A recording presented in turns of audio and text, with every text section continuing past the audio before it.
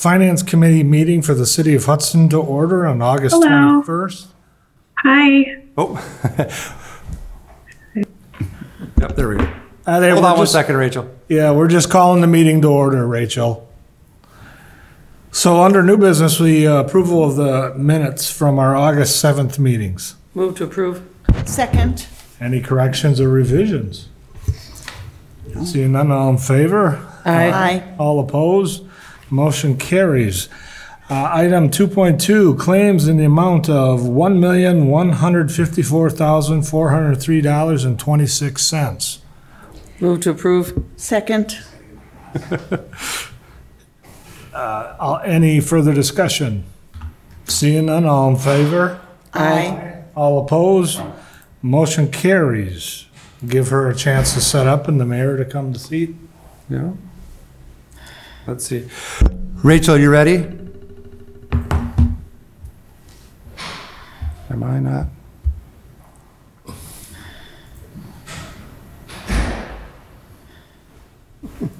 Aye. Sorry about that. Rachel, can Rachel, can you you hear me? hear me? Oops, that's not right. Hello. Yes, I can. Aaron, is that you? Can you hear me now? Hello? Why is this always a problem? Okay, Okay, Rachel, can you hear me now? now? I can. Okay, hold on Okay, one hold second. on one I second. I gotta go mute mute something something else. Okay. Yes. We're on 2.3, Mr. Mayor. Okay, thanks.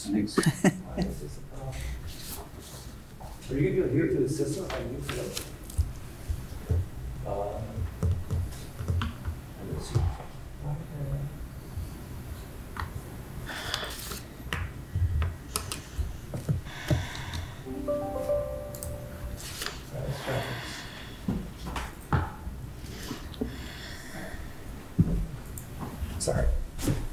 Rachel, can you hear me now?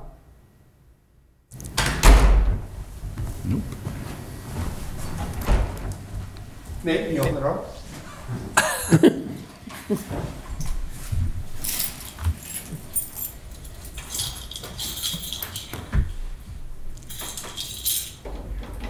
Sorry, it closed.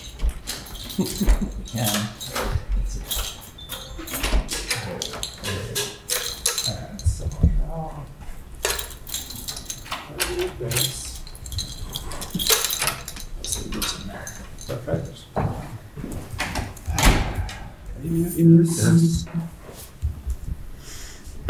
Okay, Rachel, can you hear us now? Rachel? Oh my God. She's definitely getting some. She's there, she's muted. She is muted. But, but Right. now can you Now, hear me, can you hear me, Rachel? Rachel? Okay, Okay, go ahead, go ahead and get started. started. I don't know why it's doing this.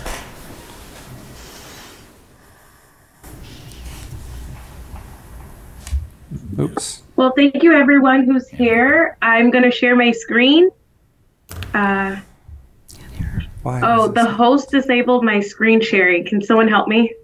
Yeah, I'll do that. It's coming through my computer, not the system. I just turned the speakers down so it wouldn't echo. Try turning the speakers back up, Nate, would you? Thank you. There it is. So, um, can I hear okay if you can see my screen? Uh, not yet. We can hear you. Can you see my screen? Nope, not Nope, yet. not yet. Not yet. Okay. Let's see. What's going on here, buddy? Hmm. Now we can. Now we can. Perfect. All right. Well, I'd like to first thank everyone for their time. Um, I'm from Flaherty and Hood. Here we're going to discuss the City of Hudson's market review, compensation system, wage schedule, and study, uh, just to pretty much give you an update Okay. what we've been doing and why you're here today. So, uh, my screen and let me go.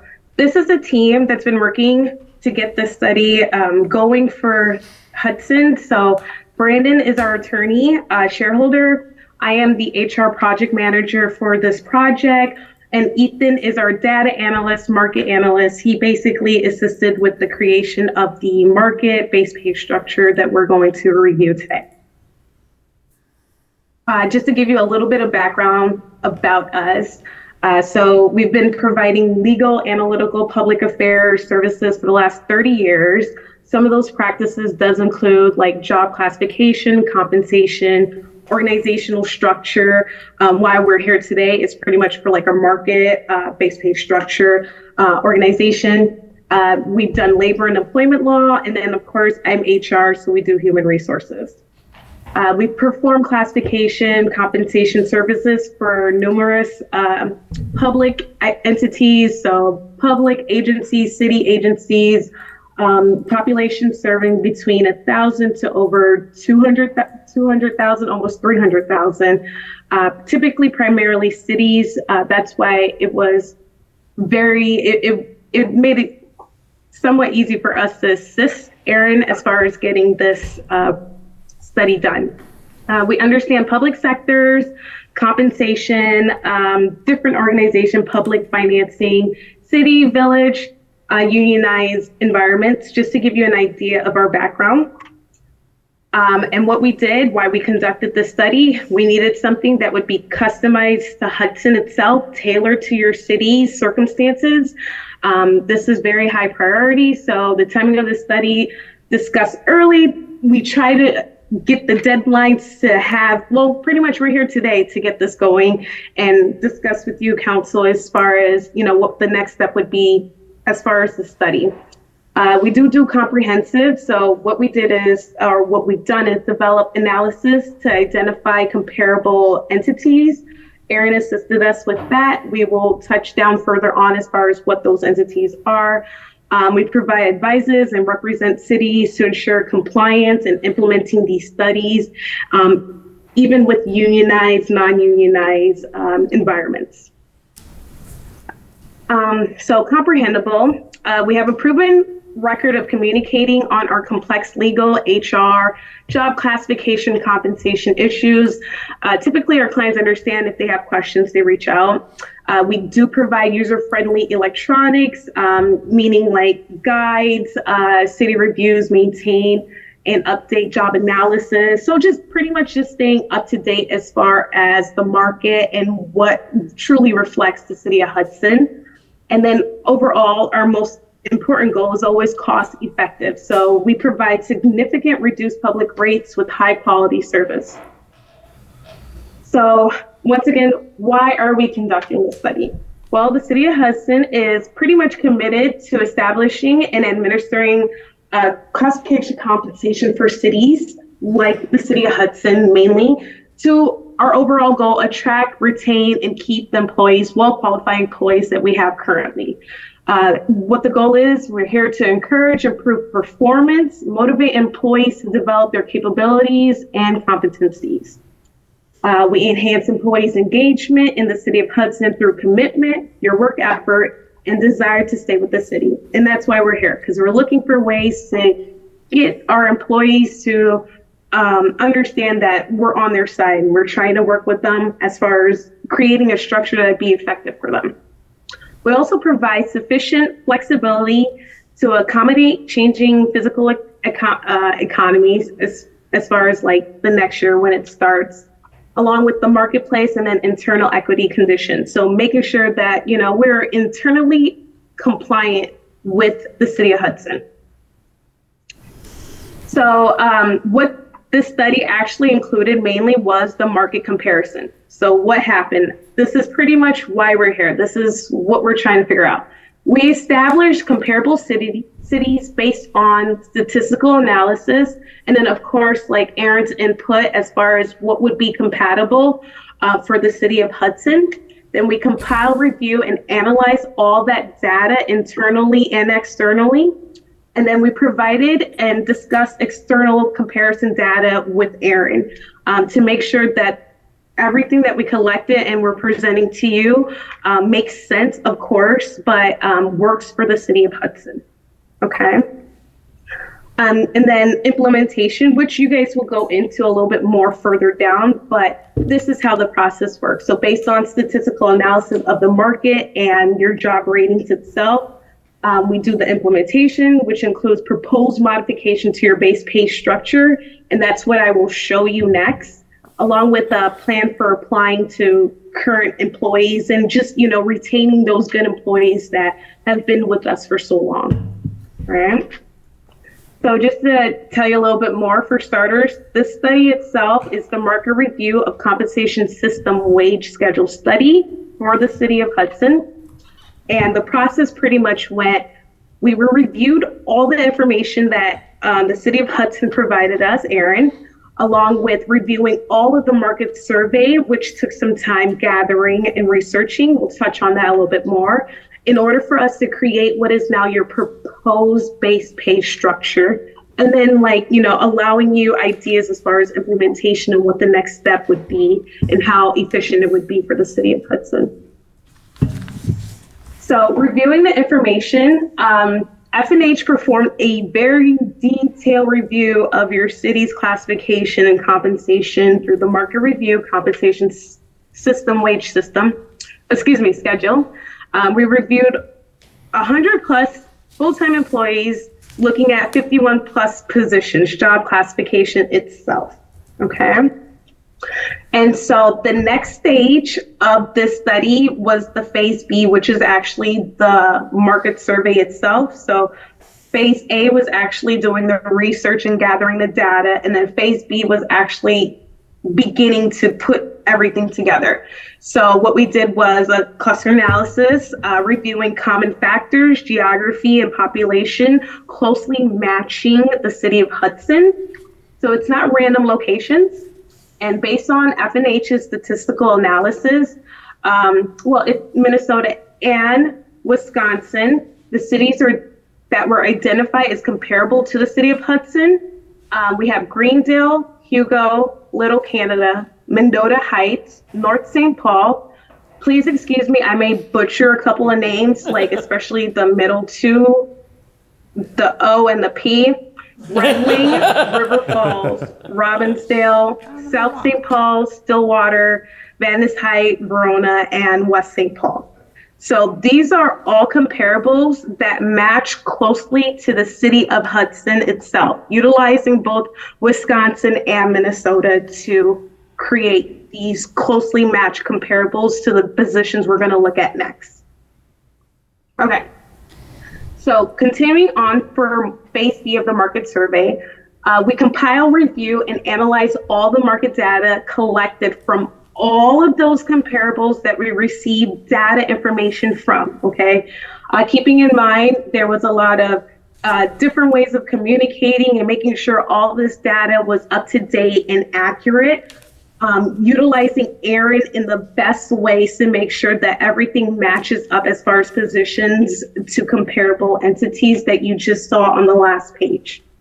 Um, Aaron assisted with benchmark classifications um, that were established using the parameters of those specific uh, comparables.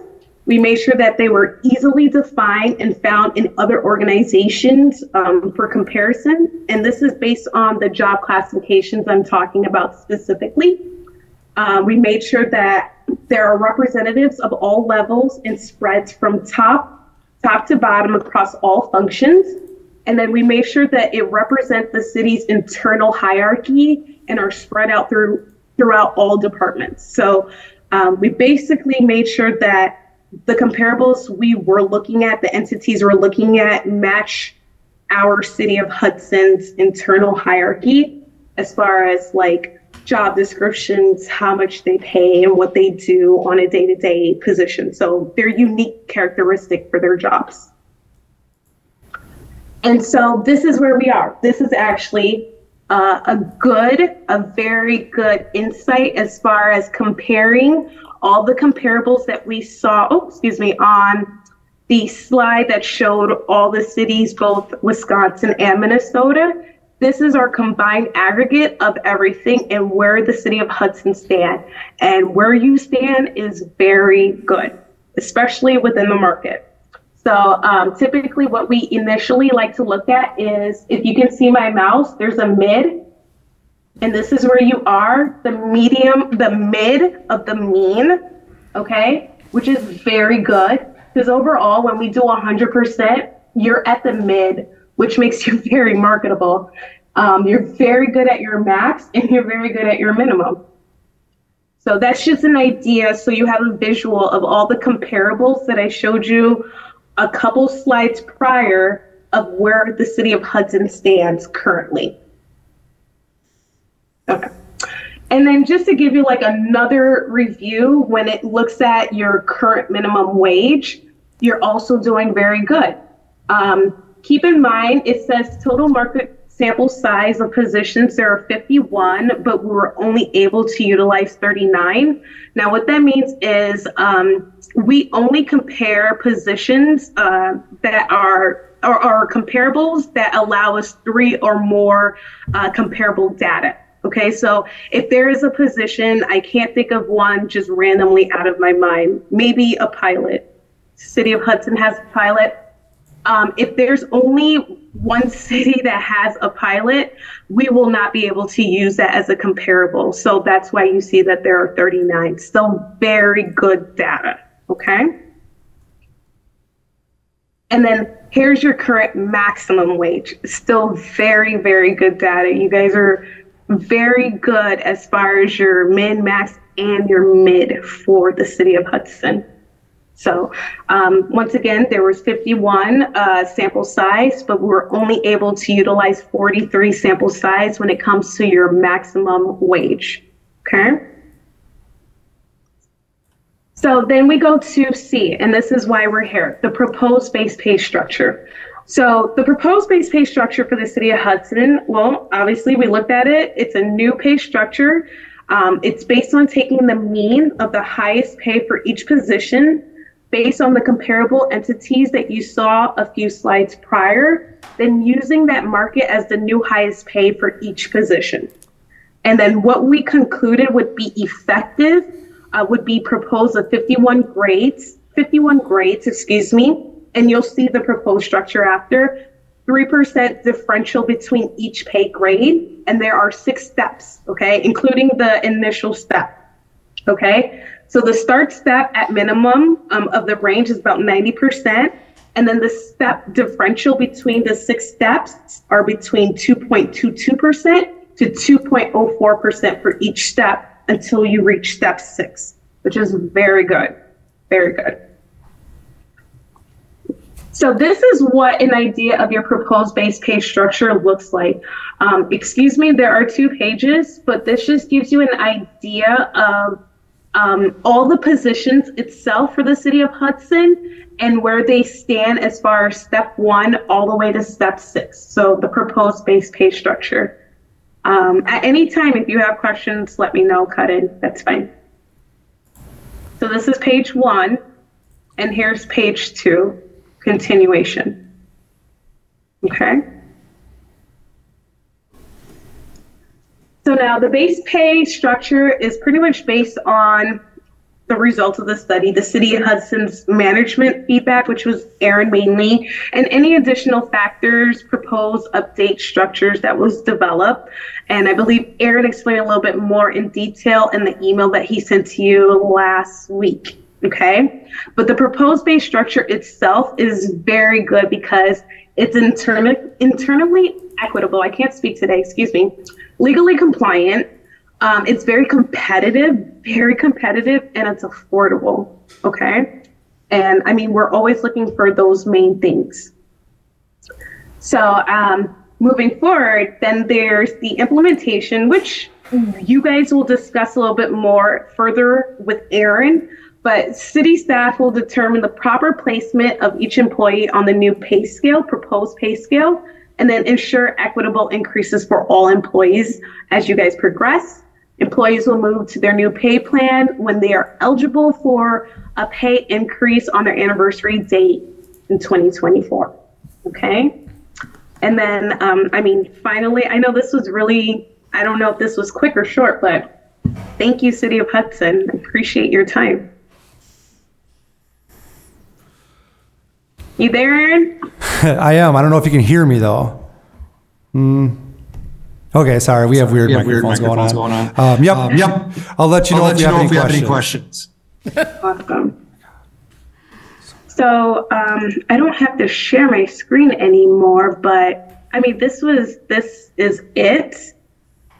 Um, just let me know. I mean, pretty much the next step for you guys is to discuss the proposed base pay structure, and I mean, let us know how you feel, and then begin implementing this um, It's- on it's your something next payroll scale. system. It should not. Okay. Yours. They can't hear me then.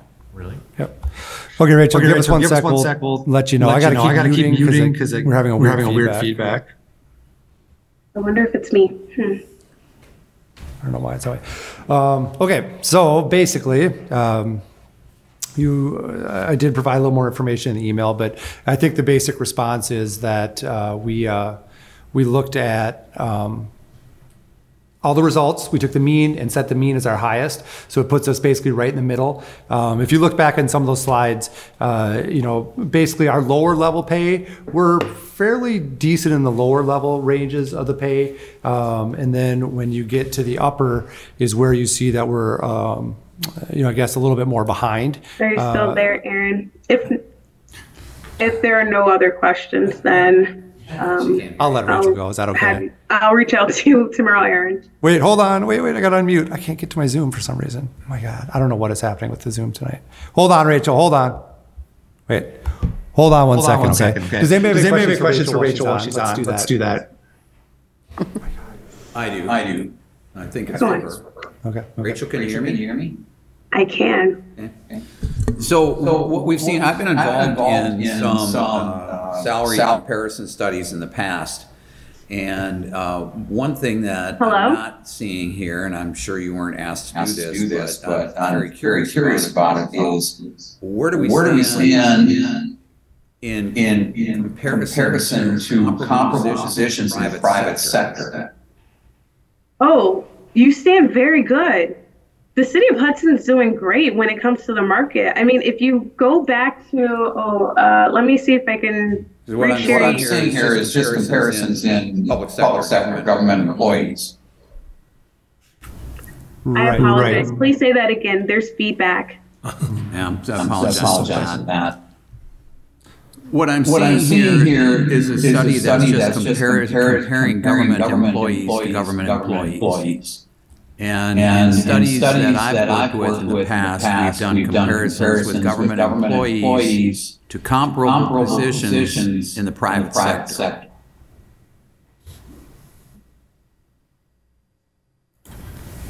Right. And I think, Right, the, and I think answer the for answer us, for us, we did not we do did a not do a comparison. comparison, we just did public sector, public sector employee employee comparisons. comparisons. We did not use any private sector ones. ones. Right. I have a question also. Was there any comparison done with the benefit package that the city of Hudson offers as opposed to the other municipalities? How do we compare that way? So the main focus when we did this comparison was based on just the market um, as far as like wages for um, comparable entities. So we mainly just focus on like compensation and market. Thank you. Thank you. Anybody else? And I want to be honest, a lot of them didn't even answer half of those questions that we asked them for. Uh, we called, we emailed, we researched, we we did a lot. Okay, reaching out, and I mean Hudson is busy, and we understand, and they're busy too. Um, but we did we did the best that we can as far as reaching out. It, it took us a few months. I mean, Aaron knows to even get all this data and collect it and put it together for you.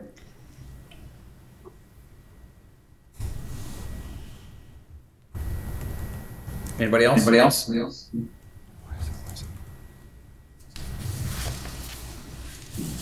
I think I think that's it for questions, Rachel. Well, feel free to ask any other questions that you have. Let Aaron know. Aaron is so good. He knows so much.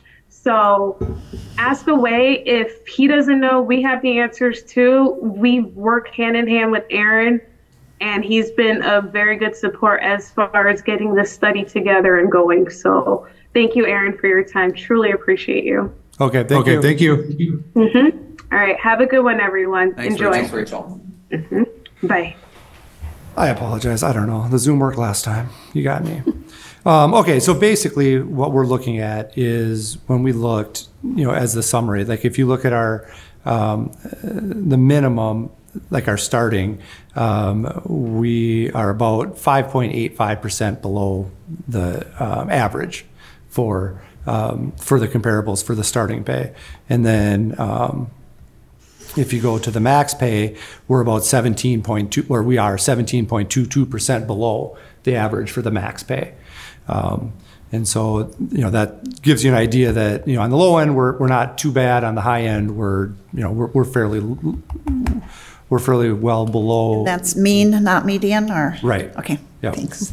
So what we did is we took the mean, um, we made that the, the start, and that's, you know, basically where we, where we put the scale into place uh, as an option to, to take a look at. So, um, So, two questions. Uh, I was curious that New Richmond wasn't in our comp set.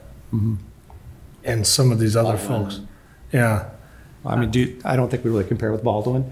Um, uh, New Richmond. We've uh, often used them in quite a few of our. Yeah, I, I guess I don't think Baldwin's a good comparable. New Richmond, I could see as, as New Richmond, potentially we, we, we might yeah. we, we might look at, but you know, honestly, I think most of our competition we focused at where we're getting employees from, which is the metro side.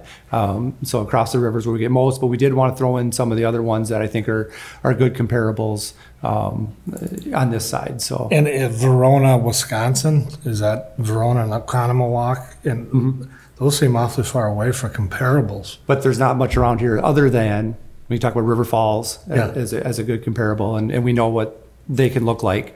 Um, so we tried to look at when they looked at it, they looked at comparable size cities with comparable size budgets, comparable departments, things like that. So when they when they did their list, that's how they came up with them. Okay. Is they wanted to get a general idea of fairly comparable locations. And not trying to jump ahead, but on the proposed 2024 base pay structure, Mm-hmm. is our next discussion based on putting everybody in step one? No. So basically, you'll have some employees that are already above step one right now. Okay. So what we would do is what we're going to take a look at the employees and figure out, so they make this amount now, what makes sense for them to go to the next, onto the, onto the new scale.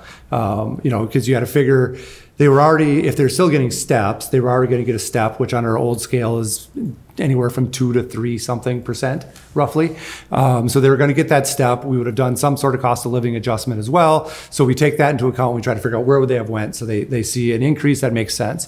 So we've, we're basically, it's individual for each employee on where they would get put on the scale. Based on longevity? Yep, based on where they're at in the current system, things like that, what they currently make, um, and then from there, it um, uh, what we're seeing with a lot of them is that a lot of employees that were either at the top or close to the top will now go lower, so they'll have more room for future years for steps and things like that. We're seeing that with a number of the uh, employees Well, that they, they gain a those second. steps. You said employees will go lower? Well, they because There's more steps. they'll go lower steps. Let's say they're on step five right now of So six. you won't change their salary? You can't? No, we're not taking, what I'm saying is that they go a lower step. So they get a pay raise, but instead of being on step six at the top of the scale, they'll get a pay raise and be on step three of the new scale.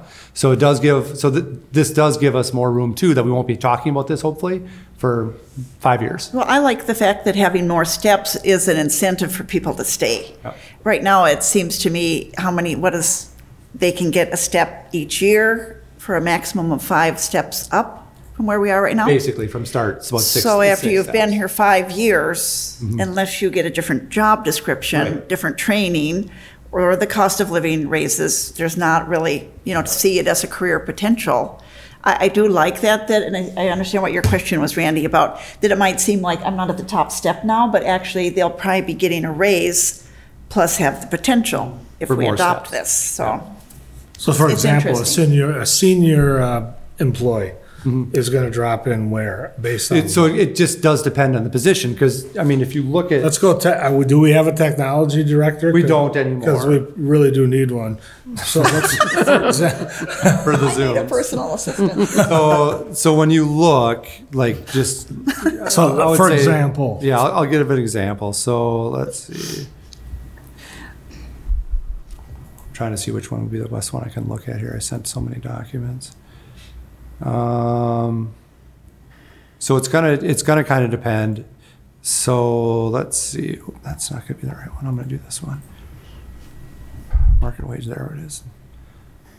So when you look at that market da- wage data workbook with all the tabs that showed the, the actual salaries from all the different places, um, things like that. Let me get to the right. Come on. Uh, let's see. Max sum. And there we go. So just say, for example, um, What page are you on? uh, So if you're on that, the spreadsheet that says uh, City of Hudson Market Wage Data Workbook, it's that tab that says 2023 Market Sum, Max, and Wage. That was the one I was trying to say probably is the best summary of things. So what it'll tell you, if you start scrolling down, you'll see the percentage that the current position is under the mean of the, uh, of the comparables. So, for example, our accountant position, just because it's the very top one, is 22% below what the, the mean is. So obviously that one's going to see a, a, you know, a little bit of a bigger placement overall on the scale, which means that they're basically probably go to start one because their top end of their scale is going up They have more. 22%. Which page are you on, excuse me? Uh, so it's, Of the whole packet, there's Yeah, 99 if you- if- pages. oh no, that's, it's actually that Excel I emailed out. Oh, got it. Sorry. Could, could you go down the bottom uh, and tell us how many tabs over we have to go? Because it doesn't show the full is name hard of each to- of the tabs. So it tabs. starts with key, and then Yep. it says survey positions. So after that, it's the raw, 2023 raw max, 2023 raw mid, minimum, skip those. Then it says 2023 market sum max hourly, go to the next one. It says 2023 market sum max and wage. So it's like this. One, two, three, four, five, six, the seventh tab over. And then Thanks. so then, for example, the, um, the next position below it, the account HR coordinator, it's only five point one nine percent below the max. So that one, the max is gonna go up basically five percent roughly. So then they're gonna get placed pretty close to where they would have went in the scale probably anyways, for the most part. So it really does just depend on the position because some positions are way more below the, the median or the mean than others are. So is it your intention to go to zero percent? And then start basically over? So if they're a negative five from the median, we're gonna. Basically, we're gonna, t- what we did was everybody is different places on the pay scale, you know, Right. depending on where they're at. So let's just say, for example, that somebody was on step three of their pay scale. And let's assume that the council is gonna, let's say four percent cost of living for next year. We just pick a number. So their step between that three and that, and that would have been two point five something percent and maybe two point six, I don't know for sure. Um, but let's say two and a half percent. Then plus the, um, uh, cost of living would have been like six and a half or whatever. So when we look at what that would have been, we then look at the new scale and say, where does it make sense to put them kind of around there? Um, it won't fit exactly, but we want to make sure they wouldn't get less than what they would have gotten if we wouldn't implement the new pay scale. Okay. That's what our goal is. And this would be for 2024. It would be for 2024. And currently, in 2023, all city staff got a 4% cost of living. They did. Increase already, okay, Yep. thank you. Yep, so this would just go into, th- none of this goes into effect till 2024. Also, it doesn't go into effect, our policy is on your anniversary date. So not all of this goes in January 1. It gets staggered out throughout the year. Um, Now, if we've had employees that, um, we've done some different things to, they're, sometimes they're, we do have some that are January 1 rates, it just makes it easier.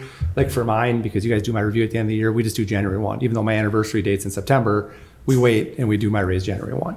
It's just, whatever, it's cleaner. It's so, but for the most part, you'll have employees that will maybe see their move to the new scale, um, January, February, March, April. Some may not do it until September, October, November, because that's when their anniversary is. Sure. So we based off the anniversary. Now, what they do get immediately the first part of the year is a cost of living adjustment. I was just gonna ask that. So what we've proposed in this is that four percent cost of living adjustment. So everybody gets that. That's all factored into the, all these pay scales that you see in there. That's all factored into there already.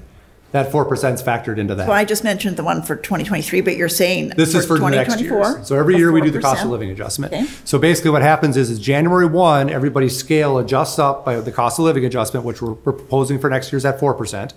And then if we adopt this new pay scale, whenever their anniversary date is, they'll drop into that new spot on the, that, that pay scale. Like I said, it could be January, February, March, April, whenever. Just depends on when they got hired, basically. So did, you probably answered this, but I missed it. Did the study include the four percent cost of living increase? That's what that The they pro- show on there, The yes. proposed. Yep, that's what they 4%. show in there. That, that's included in there. So what they show in there includes that. And so, you know, and the thought is, is that you did the study in basically 2023, early 2023, we started it. So all of these cities that we're talking to are going to do some sort of cost of living adjustment in 2024, assumedly. Um, so this keeps, this helps to keep track so we don't fall further behind with it. But those numbers that you see in that PowerPoint presentation and everything that was sent, that includes that 4%. Okay. That's already factored into it. So are there any employees that have some longevity in their, so, you know, they're up on, uh, they're on this, this, the, the top scale, Yep. but in the current plan? We only have But four- they've, they've got some, but they've got, but on the new plan, they're way at the bottom. Right. So our longevity pay is nothing. I mean, it doesn't Okay. add up to hardly anything. I mean, it's, I can't remember what it is. It's, it's not enough to make it worthwhile. They get way more money by moving lower in the scale and having growth. So there won't, there should not be any complaints for anybody losing any sort of longevity pay. Even if they've been here 20 plus years, they're still better moving on to the scale. Could you explain that? I wasn't familiar with. We've got a thing where if you hit mentioned. the Baxter scale, I can't remember what the longevity, does anybody? It's, it's, it's a very minor amount. I mean, Just I by want to say like be- being a long-term employee, they get a bonus. But it's a, li- it's very, very little. Like it's, most employees don't even notice it because it's such a minor amount. And that will go away. Is That just what basically Joyce goes was- away now. yeah, Thank you. I had Because we, not we heard move of on to that. this. Okay. Um, so nobody's going to worry about losing that. They all do much better by moving on to the scale. And we do have, we, I did mention, we have four employees that the studies showed that they were already, our pay scales were either right at or above the mean. So they just stay on their current pay scale. We're not going to give them a pay cut, but we just keep the current pay scale the way it is. So they won't change. And there are, all those employees are already at the- basically the top of their scales too, so.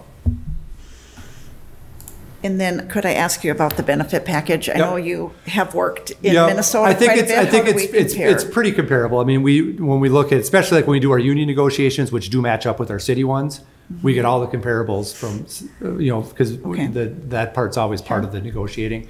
So I feel like we're, we're pretty much right on with, with, um, with all of that. Okay. I mean, I think it's a very good benefit package, um, for sure. Uh, but I think we're, we're probably very comparable with, with Thank you.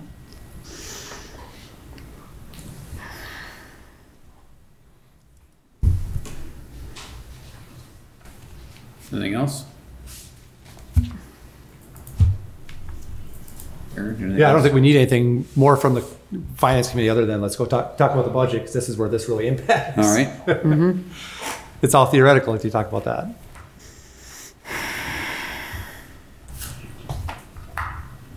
Um, okay, so then moving on to the budget.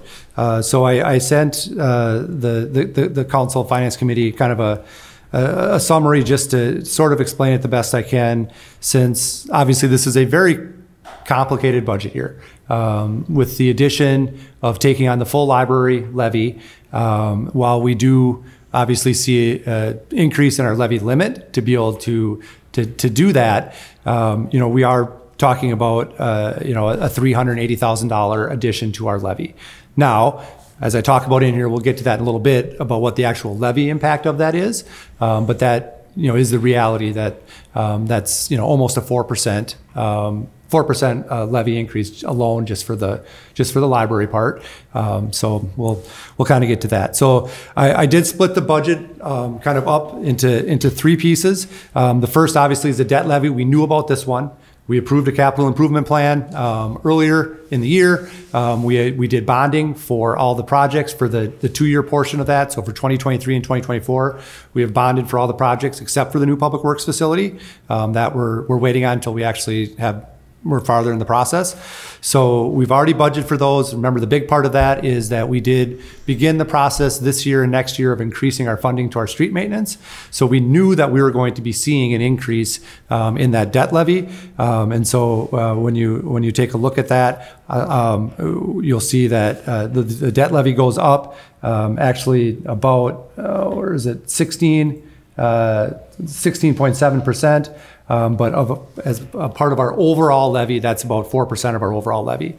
So when you look at our overall levy increase, um, uh, 4% of that is increase in debt levy. Um, so we knew about that. We knew that was coming, but now we're actually seeing it, how it impacts the, the actual overall levy itself. The next part is. Can I, can I interrupt there for a second? And again, maybe you answered this, I'm, I'm just trying to digest numbers here. Um, The actual capacity increase from capacity that we receive from our municipal partners Yep. left is how much? $380,000. No, I knew that, but Oh. percentage wise? Oh, well, so pretty much every hundred thousand dollars is about one percent with our budget, roughly, ballpark, so about three point eight percent. Okay. And then also should be noted that with the levy limits, um, we do see increases based on um, um, our net new construction. And so this year we did have uh, 3.45% in net new, new construction, which is actually a very good number. Last year we had about 2%. Um, so we're, we're almost double from last year. Certainly helping offset the Yep. average Yep. percentage up. yeah. Yep, that, that definitely plays into that, what the actual mill Do rate you impact is. anticipate that being really close to that or up? We, we, we think so. We're only waiting for really a couple numbers to get finalized from the state uh, on, on equalized values, which will happen in October, and then we'll know for sure. But last year, our net new constructions was 2%, and basically it was a 2% reduction in our mill rate based on what our actual levy was. So we think it should track pretty close to that. Okay. So we'll know for sure um, by October. I don't think it'll be more than a percentage difference. So let's say worst case, you know, we would have a 7.3% impact on the mill rate um, instead of six. But we'll find out for sure by October, and then we can update this obviously well before we adopt the final budget.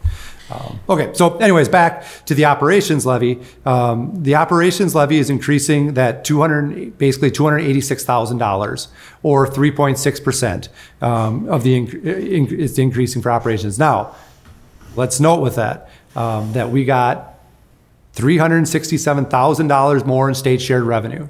So if we did not get that $367,000 in new state shared revenue, that operations levy would be going up by that amount.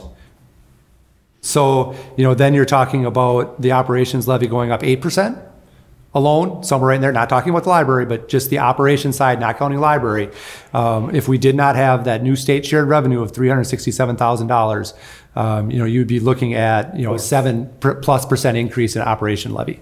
So that state shared revenue is going a long way towards what we just talked about, that salary study. Now, there's some strings tied with that new state shared revenue, um, but, uh, you know, use it for public safety, public works, things like that. It doesn't have to be for salary. That's what I'm proposing this with the salary study is that it goes that way. Um, because honestly, with the police, because public safety and public works are our two largest budgets by far, and a good portion of those two budgets are our personnel. So, you know, it, it, it just goes to, to, to, to recognize that if we increase their pay, we're, that's, that's the biggest chunk of our budget. So that's where, as of right now, I'm recommending we put that, that increase in state share revenue. So, So did we, last I, last I remember, we had, we had discussions about whether this increase in revenue sharing was going to be an ongoing increase. I thought it was just a one-time. No, it's ongoing. Every year we'll get more. It's, it's tied to the sales tax. Okay. And then we actually have a guaranteed increase for 2024. So we already know that we're going to get more than we got. I'm sorry.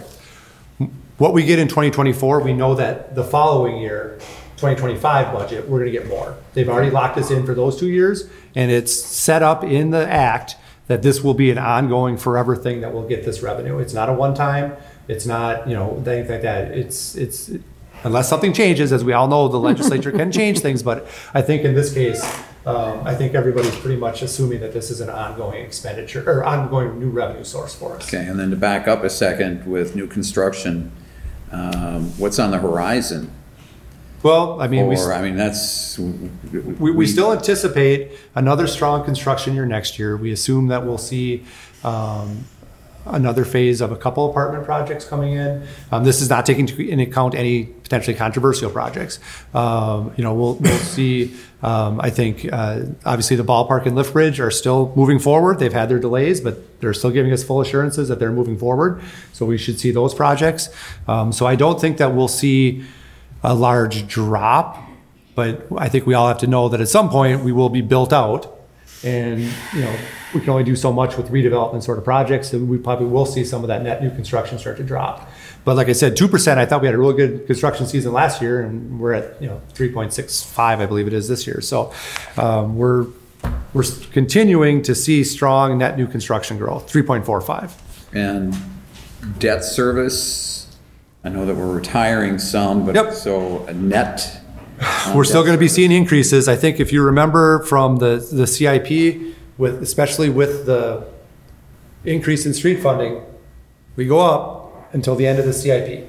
And that's when we start to see that drop off. Right. Now, that going up is mitigated some because we are definitely adding a lot new revenue for the streets. And we're taking, with that CIP, we assume a new public works facility, a new police facility too.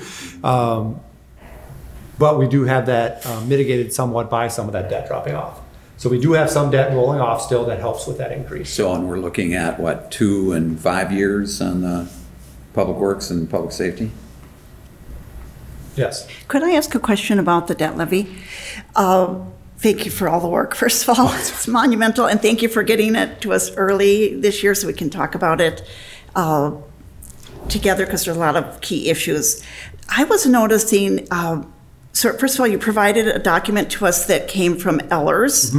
It was your email, uh, August 16th, and I think the date that they provided it was sometime in June. Here, I'm losing my fine print. At any rate, I saw a different number, so you've got proposed for Yep. 24 So there- budget, there is- 2,700,000, and they had 2,340,000, so what's the difference? I wish it would have been what they had proposed initially. So they missed, uh, they had uh, initially missed, and they had assumed that there was more of the debt was going to be spread out among um, some of the utilities things, because we do spread our debt around a little bit. Okay. But that was not accurate. We, we were making sure we do our debt right. So the current number in here is about thirty thousand dollars more than what they estimated, and that is the right number. So the three ninety, seven forty-four is what we have in the levy for debt, and I think they, they had proposed three sixty, I think, if I'm not mistaken. So they Yes, were off. Because, well, they had their. Yep, they were off by thirty thousand dollars. Same And that was, line. Ehlers admitted they made a mistake, they didn't pull the right number through. Okay. So we do have the correct number in I here, because trust me, about that. Okay. anytime something goes up, I want to make sure it can go back down, because that would All just right. have saved us 0.3 percent. Yes, I was thinking that that would have brought uh, would've our nice. increase down. We're looking at a tax Yep. increase. It would, it would have been nice to be able to Uh, save that extra. Significant tax increase, uh, despite. So unfortunately, that is the correct number, is the three Okay, ninety. They were you. off in that I was initial wondering about that, all right. Yep. Thanks for explaining it. Um, okay, so Got a question. oh, sorry. How close will we be to our um, levy limits? Um, we should still be pretty much fine, um, because we get to add that three point four five percent, which is, um, our net new construction. And then even last year, uh, where was I? Let me find it. Last year, we still had, I got a lot of files here. Um, I can tell you for sure.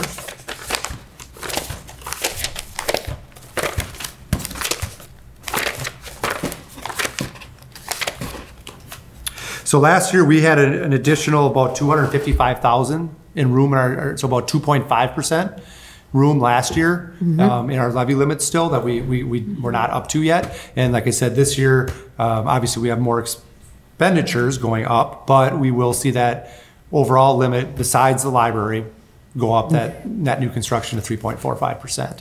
So we will, we will still be, and I won't, I'll, I'll have Sean Ehlers run the new number of where we're going to be at um, in relation to that. Um, But we still should have, I would assume that 2 to 3% room still that we, that we could look at, you know, 200 to $300,000 more in levy if we needed to.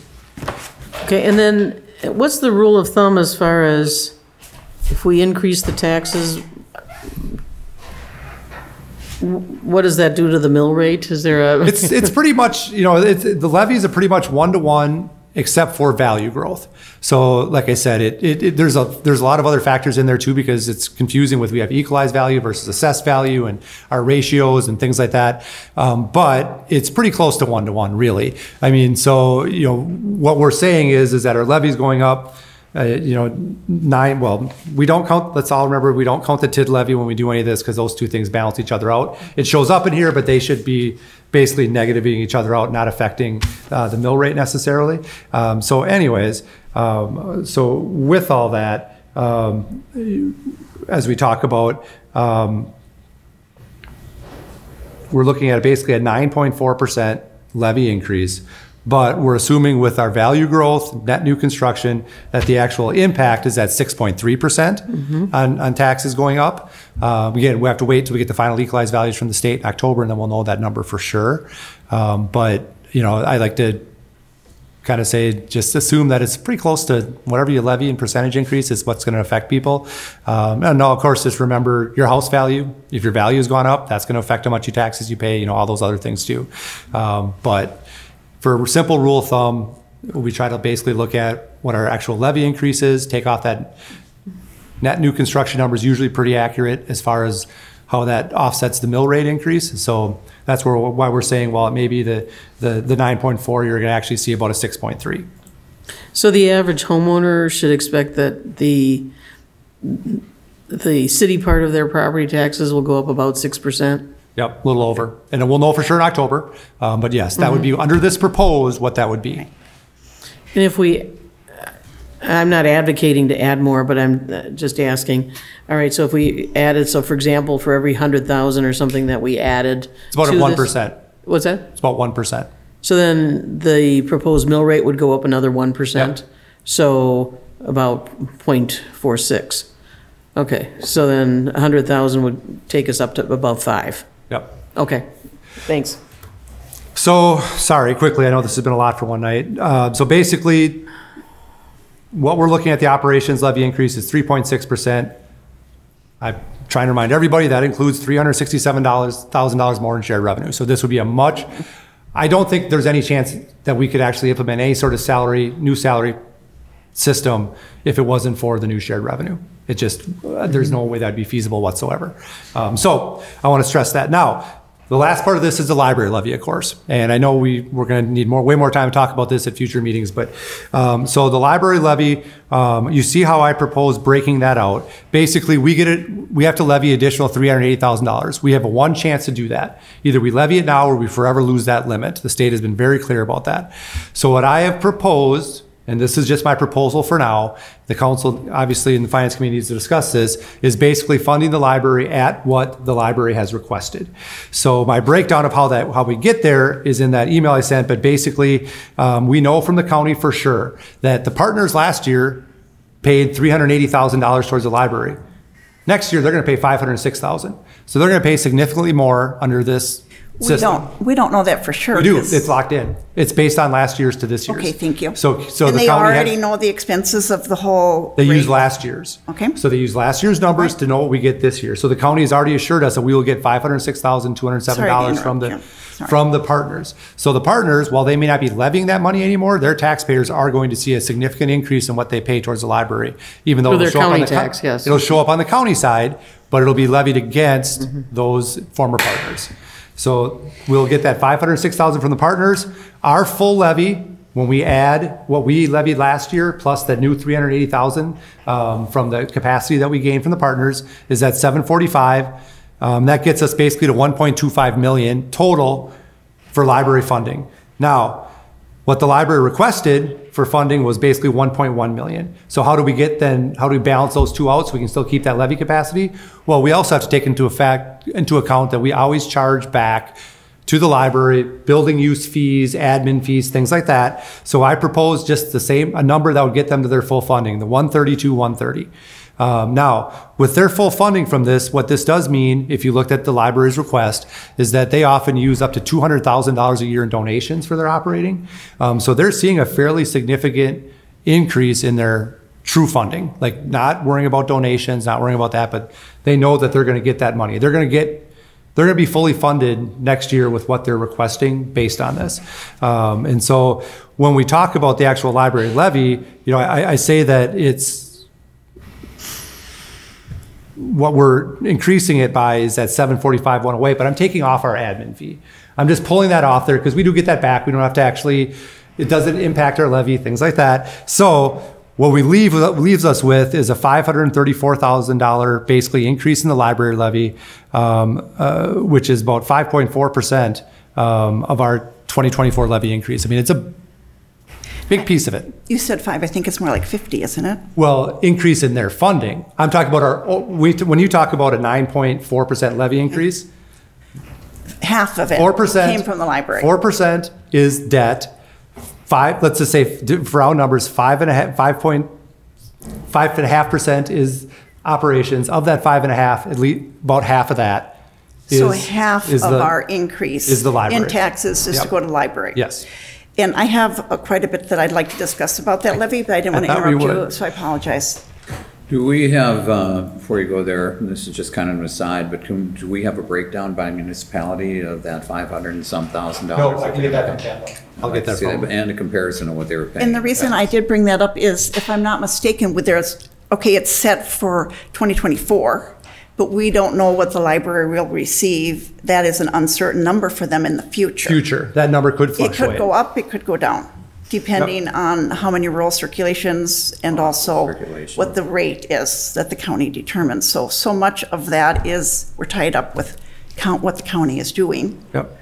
Um, and I, I do, is this an opportunity for me to speak about, I feel that we need to have a serious and in-depth discussion about whether we accept that levy, take that levy capacity, because uh, the idea of transferring service to us, actually, those former partners, or soon-to-be former partners, are transferring their service to the county. The county is who's levying them and taking that money. I know that the state has, so you've spoken many times to the state, Aaron and I have spoken about this separately, and he's assured me that you have written documents. I would like to see that, written assurance that the State Department of Revenue has assured us that Hudson, unique as we are, can transfer that, because basically, uh, that's what those taxpayers were paying towards our joint library.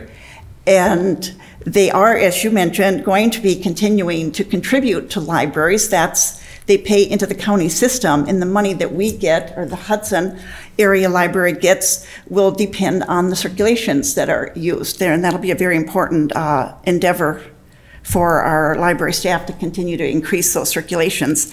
I do want to point out that because of issue, you used some terminology in your letter to us about uh, in order to be exempt, and I think we should discuss about what that means. That we have to levy a certain amount so that we're, we don't come under requirements that the county sets for us. So this could be for another time. But I, right now, as I understand it, the minimum that we need to levy for to avoid that exemption or that possible penalty where the county steps in and says, hey, you're not funding adequately would be 614,671 roughly. So last year we levied our residents, City of Hudson taxpayers $365,000. And so increasing it to 614,000 alone is uh, almost 60% increase.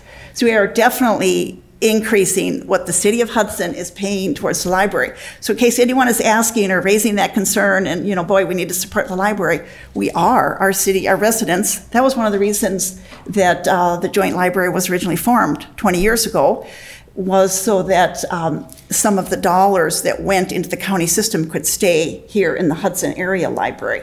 And uh, times have changed. Uh, that partnership is no longer standing, but I just want to make sure that everyone knows that. If we're thinking, oh, we need to spend more on the library, our residents are going to pay, spend about 60% more in their taxes on the library going forward.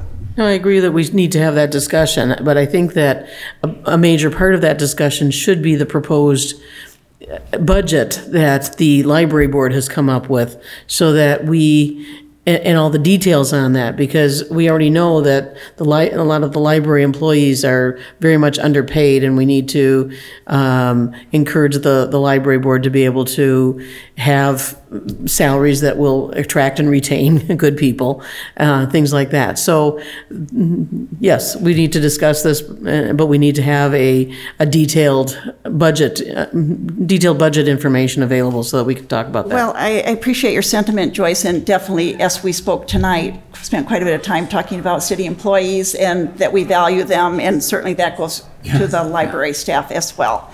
I, I hope that they feel valued by the residents and the patrons.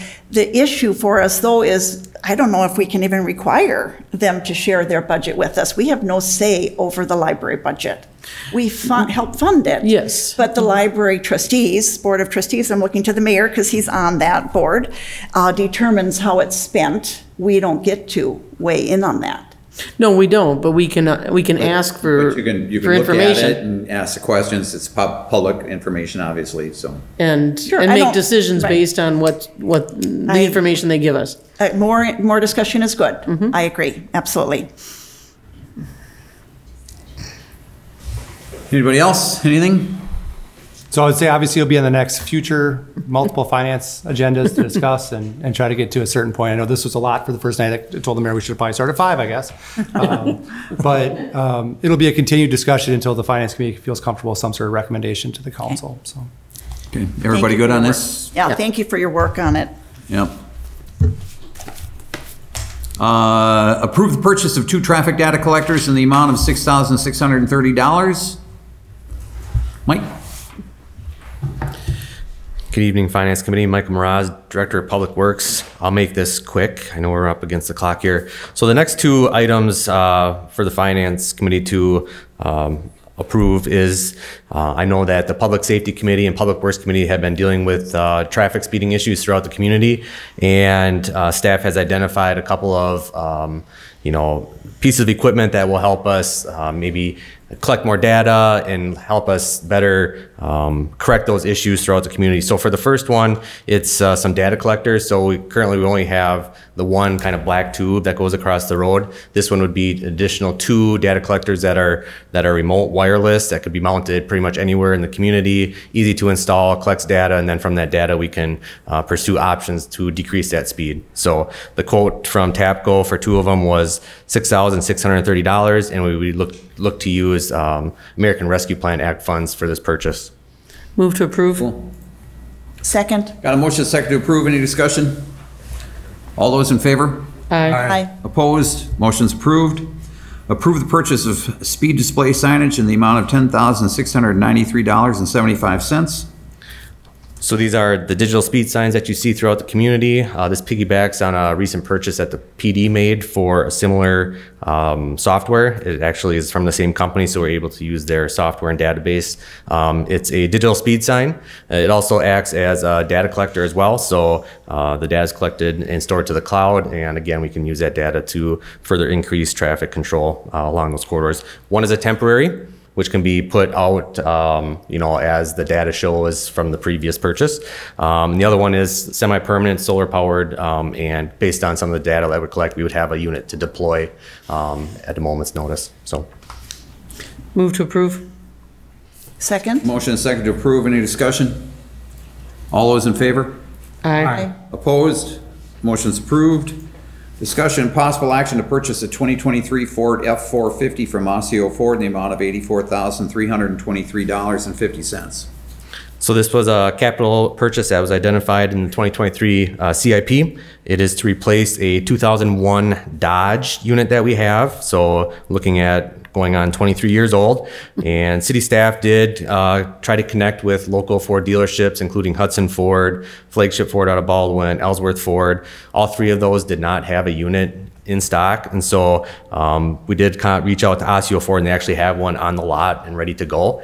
Um, in the issue sheet, you can see if we were to go through Hudson Ford, um, between the truck price and outfit price, we're around 118,000, where we can go to Osseo Ford and get one for 84,000, which is, you know, approximately $40,000 under what Osseo Ford would be able to offer, and it falls within our budget. So uh, staff is recommending approval of the, the truck unit from Osseo Ford. So does, so it already has the dump truck option in there? Yep. And it's all, okay, so the picture that's The part of white- report attachment number two point seven, that's the That's- actual one that we'd that's be the buying? unit that's Okay. available right now. Move to approve? Second? Motion and second to approve, discussion? All those in favor? Aye. Aye. Opposed? Motion's approved. Thanks, Mike. Uh, I don't have anything. Anybody? Move to adjourn. Second. Motion and second to adjourn. All those in favor? Aye. Opposed? Motion's approved. We stand adjourned. Take just a couple minutes, uh, council meeting will start.